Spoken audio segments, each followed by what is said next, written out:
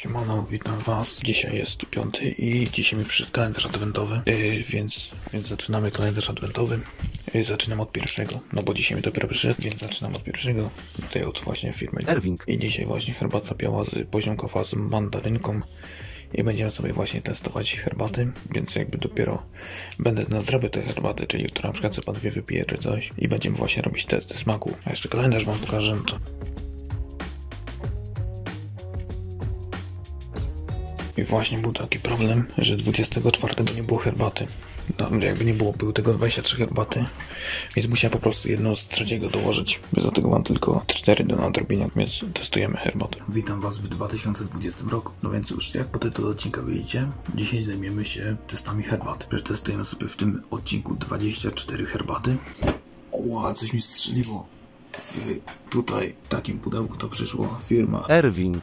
Kalendarz adwentowy, 24 dni z herbatą, tak wygląda tył. Tutaj mamy informacje wszystkie składy herbaty. No więc teraz mamy herbatę.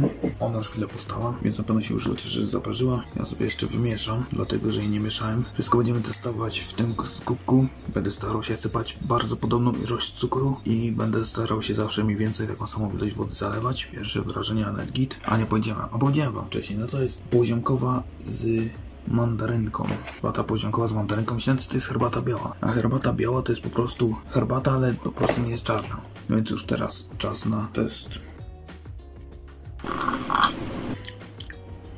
Nie czuć zbytnio smaku. Smakuje tak dosyć basicowo, jak taka herbata. Nie czuć tam zbytnio smaku. Mandarynka.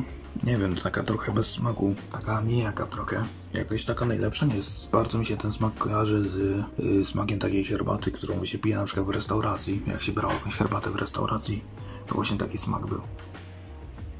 Piję lepsze herbaty, w sensie taka. A, jeszcze ceny nie wspomniałem. Y, cena za ten kalendarz to było chyba 16 zł.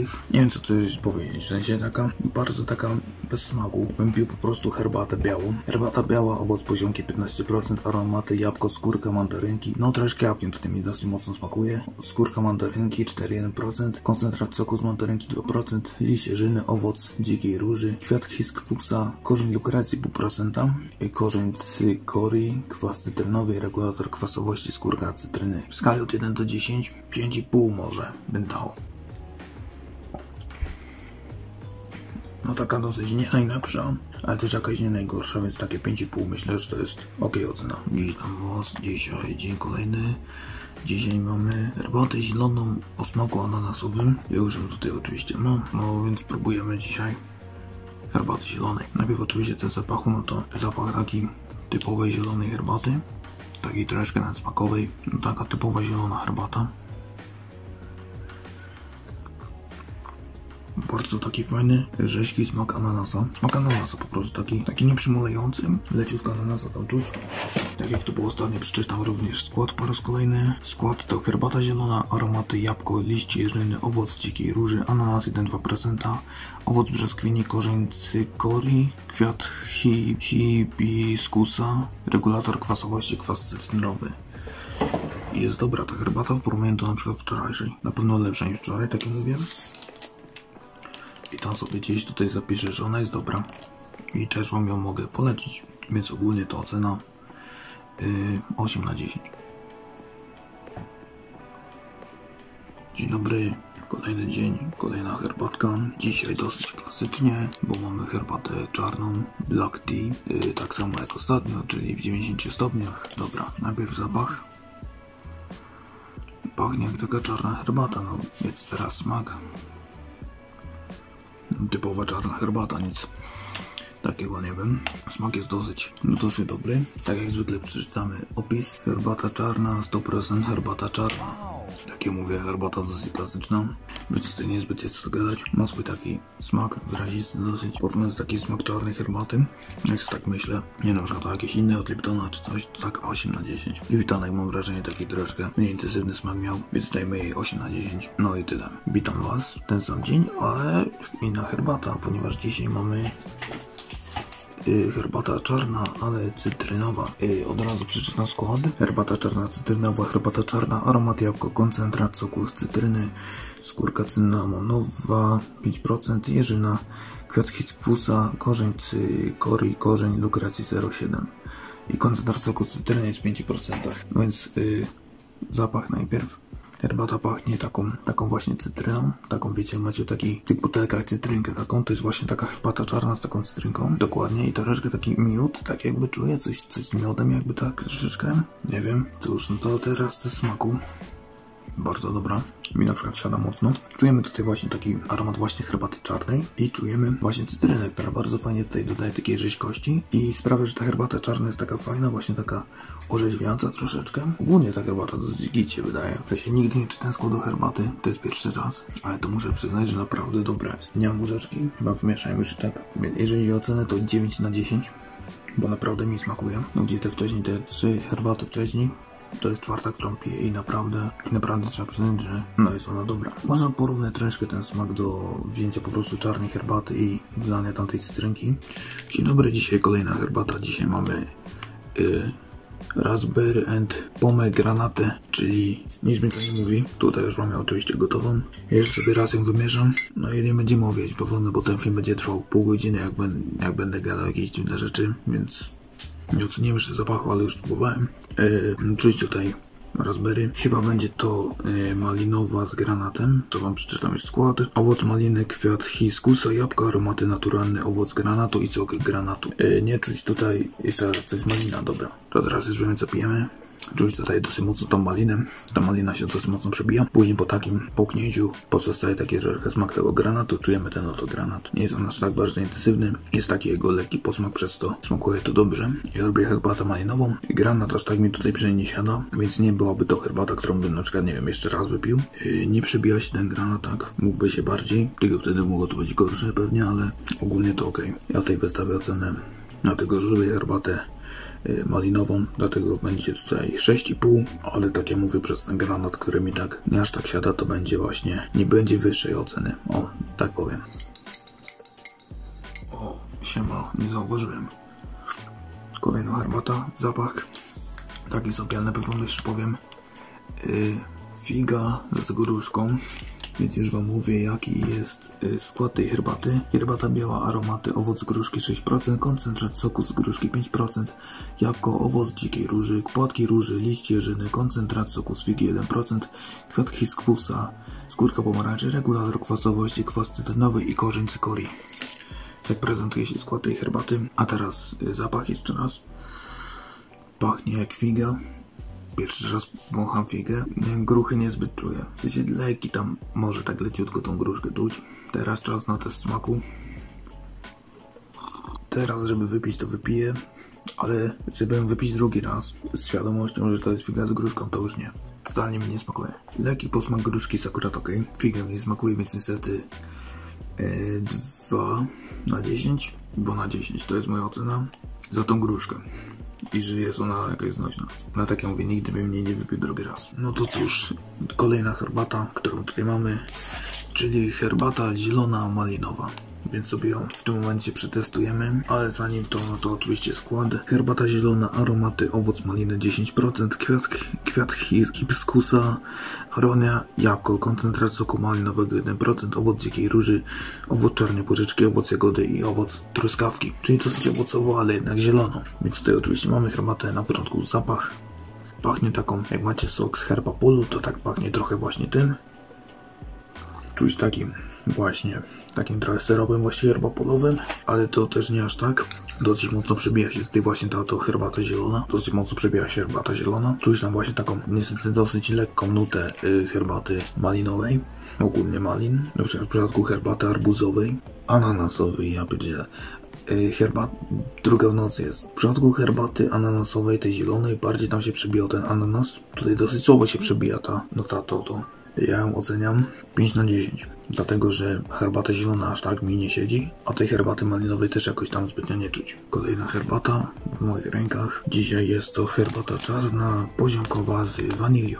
Już mam czytać skład tej herbaty. Skład. Herbata czarna, kwiat hik busa, poziomka 10%, aronia, aromaty, jabłko, dzika róża, karmel w proszku, wanilia 0,3%, czarna porzeczka, czarna jagoda, malina i truskawka. Test zapachowy, tak jak zawsze zaczynamy nim, pachnie tak dosyć mocno taką wanilią, totalnie jakby wanilia. a tam jest tylko 0,3% niby wanilii. Czy pachnie poziomkami? Troszeczkę poziomek, ale jednak bardziej czuć wanilię. Samej herbaty czarnej też nie czuć, no niezbyt czuć. Więc teraz y, czas na test smaku.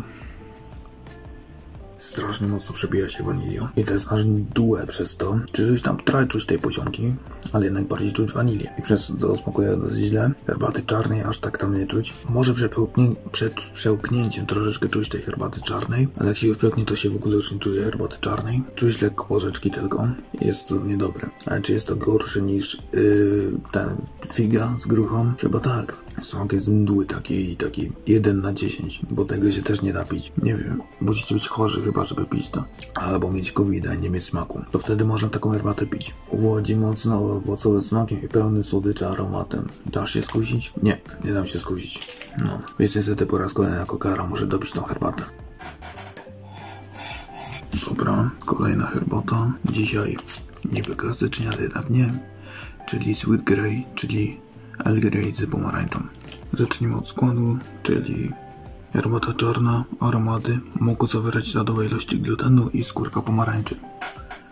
No, czyli praktycznie nic w tej herbacie nie ma. Tak w cudzysłowie. Najpierw zapach. Pachnie jak Earl Grey, ale taką mandarynką, więc teraz smak. Dobre. pomarańczowe. Yy, mamy tutaj właśnie takiego El Greya.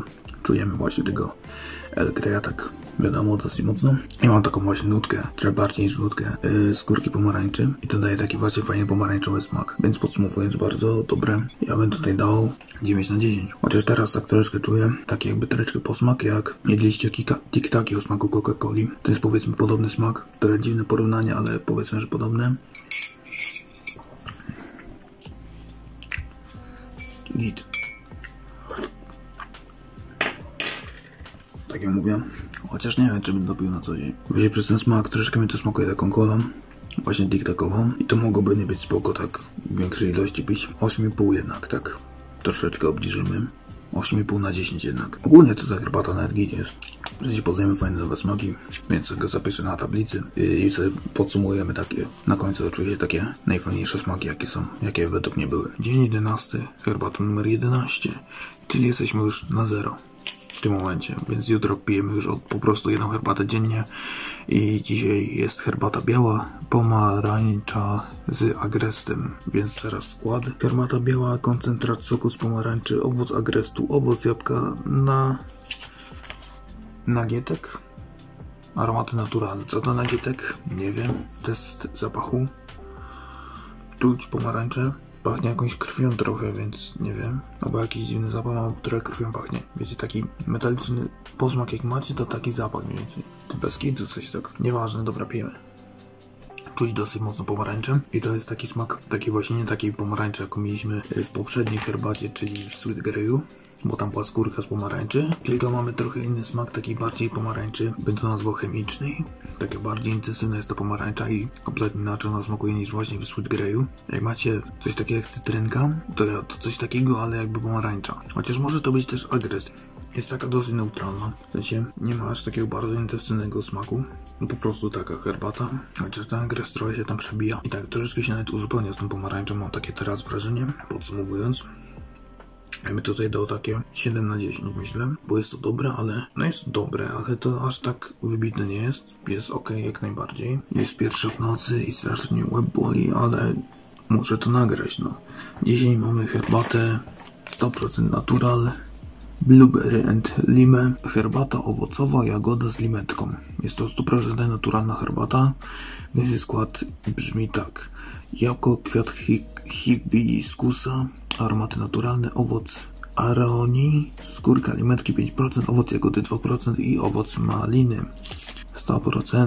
Zacznijmy od zapachu, bo jest on dosyć ciekawy, bo pachnie jak taki klasyczny energetyk i to nie jest żart. Jakbyście pili takiego normalnego energetyka, taki wiecie, ten klasyczny smak, taki nie wiem, Tiger Classic, czy Black, czy Engine jakiś, czy ten biedronkowy B-Power, no to to jest właśnie taki zapach. Później jak się trochę wczujecie, to tam czujecie generalnie troszeczkę tej właśnie jagody i limetki, ale czas na test smakowy. No dosyć ciekawie, bo czuć tutaj, jak w zapachu czuć energola, tak w smaku czuć dosyć mocno tą jagodę. Y, Czuć także tą właśnie limetkę. Ona daje taki właśnie fajny i tutaj taki dodatkowy akcent, posmak troszeczkę taki. I bardzo dosyć fajnie się ona komponuje właśnie z y, tą jagodą. Bardzo fajne połączenie. Aczkolwiek wydaje mi się, że ona dosyć takie jest. Herbata minutka na przykład bardzo podobnie smakuje. Mam takie wrażenie, że to niezbyt się różni smakiem. W sensie kurde, ta, dobra, to nie ma sensu. Wytnij to. Stefan później. Smak jest dosyć dobry. Aczkolwiek to muszę zaznaczyć, że yy, no niestety jest to smak, który znam dosyć dobrze. W sensie nie, że piję tą herbatę, tylko że niestety smak jest bardzo podobny do takiej sagi owocowej. Yy, 7,5. Aczkolwiek myślę, że to daje fajny smak. Nie czuć tutaj takiej mnogości smaków, jak powiedzmy to było w poprzednich y, tych herbatach, ale jednocześnie czuć tutaj ok herbatę. Jest ona 100% naturalna, więc to jest ingre 100% natural ingredients. Tutaj jest. Nie wiem co to znaczy, ale możecie napisać w komentarzu. Dzisiaj herbata biała, granat z agrestem. Więc teraz klasycznie skład. Skład herbata biała, jabłko, agres 10%, aromat, liść jeżyny, owoc dzikiej róży, skórka granatu 2%, korzeń cykorii, skórka cytryny, kwiat hicks. Muszę w końcu się nauczyć. Kwiat hibiskusa, hibiskusa. Regulator kwasowości, kwas cytrynowy, korzeń lukrecji 0,3%, ananas, koncentraty soków z marakui i papai, hehe, papaj, papież i tak dalej. 2137 i testujemy. Nic więcej nie ma. Napój zapach. Pachnie takie żygi niemowlaka. No trochę. Takimi trochę żygami niemowlaka. Serio? Nie, no trochę nie, ale tak mi się... Jak takie kaszki macie dla dzieci, to może bardziej coś takiego. Takim czuć chyba. No coś takiego, takie kaszki jak macie takie dla dzieci. To coś, coś podobny zapach. Nieważne, pijemy. Ma taką lekką nutę słodkości. Może dlatego, że trochę więcej cukru dałem. Chociaż nie wiem. Yy, tutaj jeszcze mogę sobie że wyrafinowane połączenie srebrzystych pączków białej herbaty oraz słodkiego agrestu i pachnącej skórki granatu. Wyśmienita tego na ciepło, ale także schłodzona po zaparzeniu w formie orzeźwiającej iced tea. Dobra jest. Czyli tutaj bardziej granat, czy agres bardziej tu czuć. Granat jest tutaj tylko akcentem z tego co nam tutaj wychodzi. Więc tutaj głównie agres czujemy. Agres no okej, okay, w sumie zbytnio nie jadą agrestu, nie kojarzę zbytnio, a się wydaje okej. Okay. Jak miał go porównać, to nie umiem go porównać. Jest taka ocena. Ma swoją taką lekką, właśnie taką kwasowość. Taka leciutka kwasowość jest, ale to nie jest taka bardzo y, mocna. Mamy tutaj taki spoko herbatkę. Troszkę w sumie mogę porównać do herbaty, którą piłem tam już kiedyś, trochę katowałem nawet, yy, czyli jabłko z miętą. Herbata taka, mięta z jabłkiem bardziej. Właśnie taka lekka nuta tego jabłka, która tam w tej herbacie była. Yy, bardzo podobnie tutaj smakuje. A nie ma tu jabłka? No jest tam jabłko właśnie, może dlatego. Może dlatego coś podobnego czuję, bo tam też jest jabłko w składzie. Jaką by tu ocenkę dać? Mam taki trochę dylemat, bo z jednej strony jest spoko, z drugiej coś takie...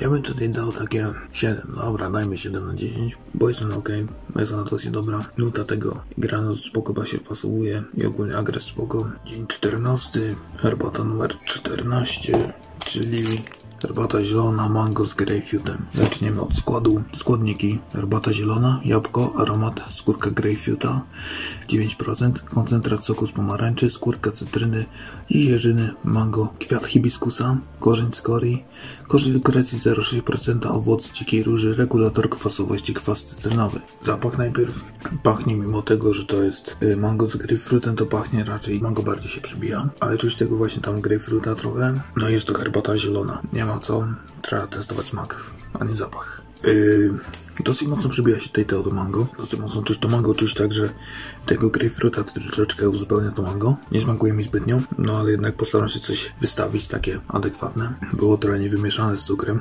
Dlatego była gorsza, teraz trochę lepsza jest. Hmm, Okej, okay. nie siedzi mi i ogólnie ocena tej oto herbaty. Yy, wystawiam subiektywną ocenę chyba 5 na 10. Nawet spoko smakuje, tego ten grapefruit mi tutaj aż tak zbytnio nie siedzi, bo on, bo on dodaje takiej trochę gorzkości i przez to mi aż tak niezbyt yy, pasuje. Jest to ok herbata, więc jeżeli lubicie mango, jeżeli też lubicie ten taki gorzkawy posmak grapefruita, no to myślę, że wam zasmakuje. Wypiję ją, nie tak jak wanilię, że musiałem wylać, bo wanilię wylałem, nie chyba o tym wspominałem. Yy, tą herbatę poziomkową z wanilią wylałem w połowie, bo już naprawdę się nie dało pić. Takie wypić na raz ok, ale tak, żeby dłużej to nie. Dzień dobry, dzisiaj herbata malinowa, czarna.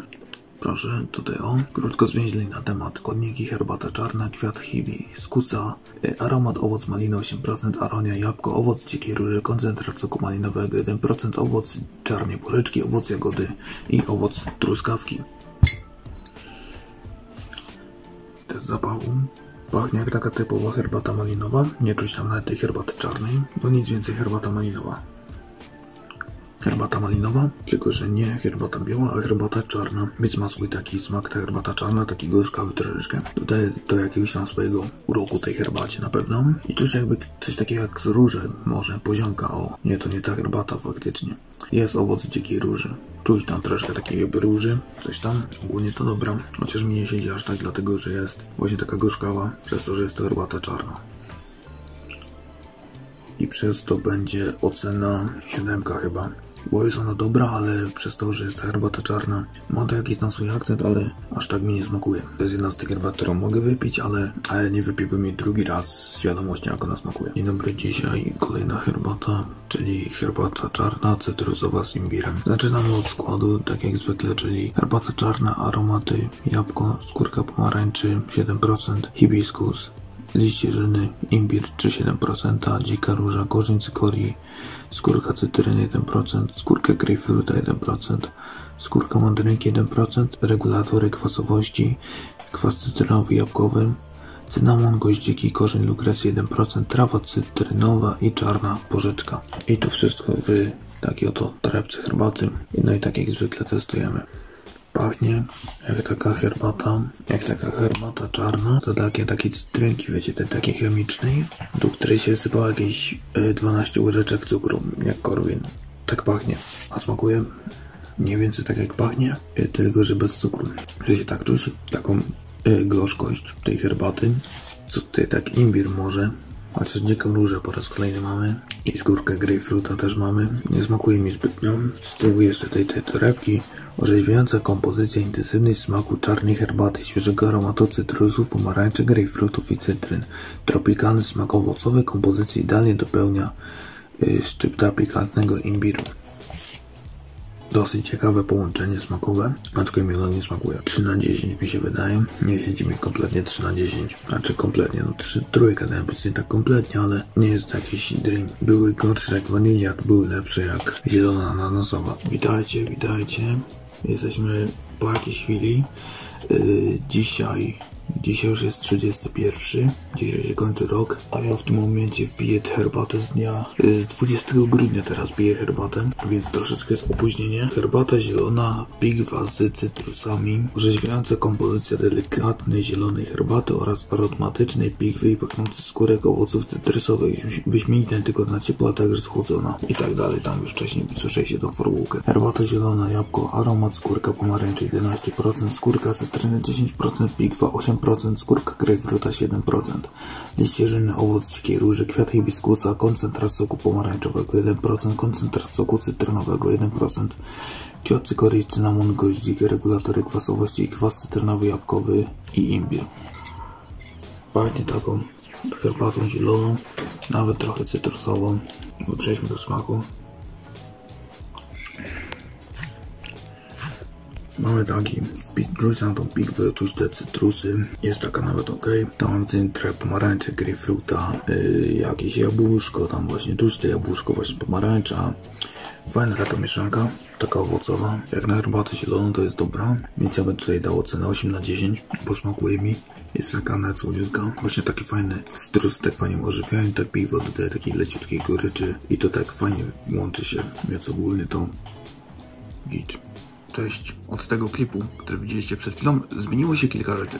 Pierwszą rzeczą jest rok kalendarzowy, ponieważ minął rok, mamy 21, a zacząłem to w 2020, także się zmienił kubek, bo ten akurat był, był bliżej. I druga rzecz, która się zmienia, to mój, moje kubki smakowe, ponieważ przeszedłem wiadomo co. Nie chcę mieć korony. Niezbyt mam teraz smak, w sensie minął miesiąc, jest już ok, nawet lepiej niż miesiąc temu, ale mimo tego no nie jest idealowy, więc już w ogóle nie jestem w stanie obiektywnie ocenić yy, tej herbaty, no ale nieważne. Minął też rok, więc, więc ona przeleżała rok w, w szafie. Nieważne. Yy, zostaje jeszcze jedna herbata do przetestowania, dlatego że dzisiaj mamy herbatę białą, malinową. Nie wiem, gdzie jest ta kartka taka, którą ze składem zawsze czytałem. Jeżeli ją gdzieś znajdę, bo chyba robiłem mi zdjęcie, to gdzieś ją tutaj macie, ten właśnie skład tej herbaty białej, więc mam jej dwie sztuki. Dzisiaj jedna w kubku, właśnie jedna tu, więc jej nie będę testował. Dodatkowo druga to jest El Grey, którego też testowałem, no i została tylko herbata zielona, cytrynowa, więc jeszcze ją tylko przetestuję, więc łącznie o 21 testów herbaty. Jeszcze nie wymieszałem, więc wymieszajmy i spróbujmy jak smakuje. Pamiętam jak dokładnie komisyjnie podchodziłem do tego, czy, czy faktycznie robiłem te 2-3 minuty, parzyłem i ileś tam litrów wody w 80 czy 90 stopniach. Pamięć jest ulotna, szczególnie moja, więc przejdźmy do testu. Chyba też taki ciepły wtedy nie piłem, nieważne. Mogłem przepukać ten kubek zanim go użyłem, bo chyba przez tydzień go nie używałem i stał w szafce, ale trudno. No mamy problem, dlatego że jedyny smak jaki czuję to jest smak wody z cukrem. Może być tak, że ta herbata trochę zwietrzała, ale też tak być nie musi. Znaczy zapach czuję. O, tak, czekajcie. Zapach to też jak woda z cukrem.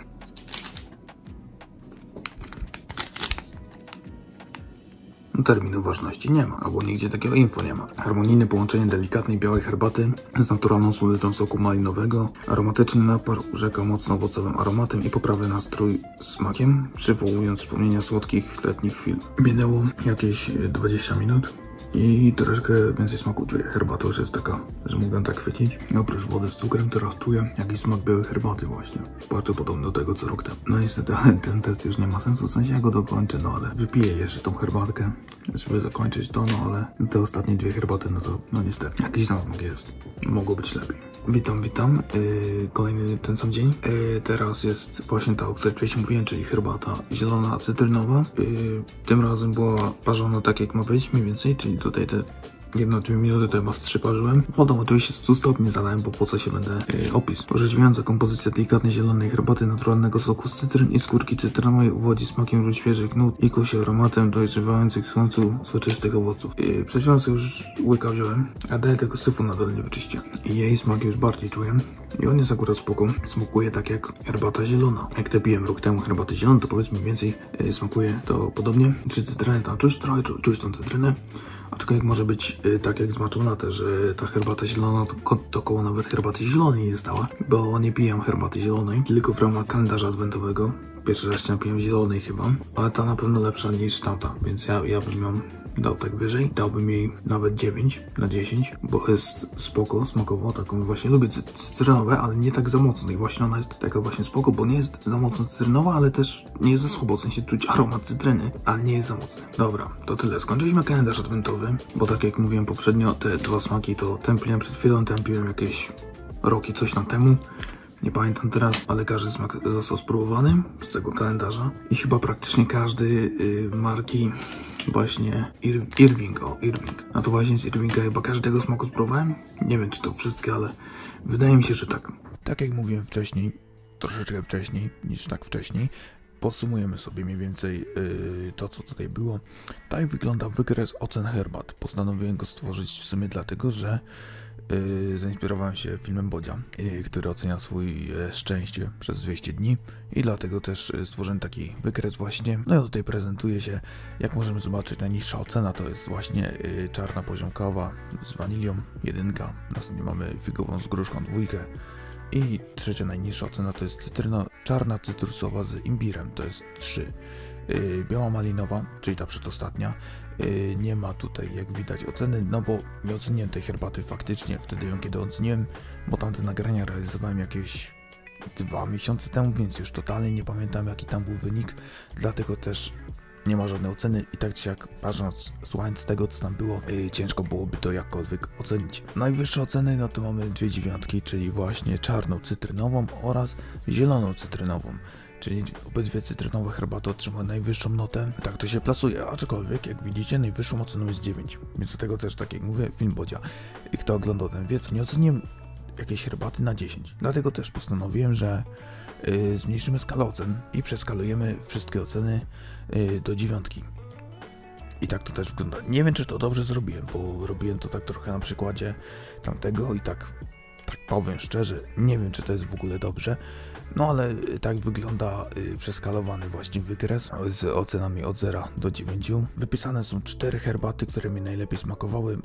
Y, Pierwsza herbata, która tam była, z tych czterech, które są wypisane na tablicy, nie wiem gdzie jest ten materiał, bo jeżeli ktoś dobrze liczył, a wątpię, że ktoś liczył, no to w ciągu odcinka pojawiło się łącznie 18 herbat, a łącznie powinien przetestować 21. gdzie są pozostałe trzy herbaty. Też chciałbym wiedzieć, przejrzałem wszystkie materiały, jakie miałem w zdjęciach Google'a, no i tam znalazłem tylko jeden materiał z y, 31, yy, czyli właśnie z dnia Sylwestra, gdzie są pozostałe trzy herbaty. Też chciałbym wiedzieć, a z tego powodu, że ten film i tak czy siak jest już na tyle przedawniony i na tyle nieaktualny, że uważam, że już nie ma sensu dogrywać tam, bo ja mam herbaty Irvinga. Zostały mi kupione w ramach prezentu y, inne herbaty. To tyle co chciałem powiedzieć. Zapraszam Was teraz do podsumowania, które nagrałem dwa dni temu. 14 miesięcy później witam Was.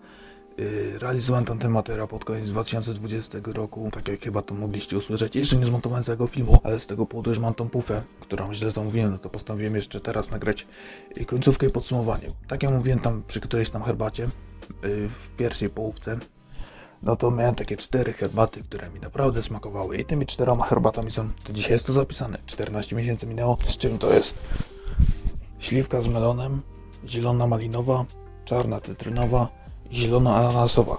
To są cztery herbaty, które są zapisane jako te takie dobre herbaty, które faktycznie mi smakowały, ale te cztery herbaty są zapisane, więc one mi najbardziej smakowały. Minęło 14 miesięcy, więc jakby nie pamiętam już dokładnie jak to było. Dodatkowo troszeczkę, yy, tak jak wcześniej też mówiłem, troszeczkę straciłem smak. Yy, nie skończyłem tego kalendarza adwentowego, straciłem smak, więc też nie mogłem dokończyć rzetelnie tego testu. Więc dziękuję Wam za oglądanie tego oto filmu. Mam nadzieję, że się zobaczymy w jakichś bardziej aktualnych materiałach. Nie będę mówił za ile się widzimy, dlatego że bardzo lubię mówić coś, a później tego nie robić. W sensie nie, że lubię, ale tak się niestety dzieje. Dziękuję Wam za oglądanie tego odcinka. Widzimy się w następnych. Cześć. Jebać Disa, kurwę, z Wisa, orka, syna i co? I dostanę bana? Nie, wiecie dlaczego, bo kurwa, ziomek jest pryszczel, kurwa. Nie, nie jestem chory.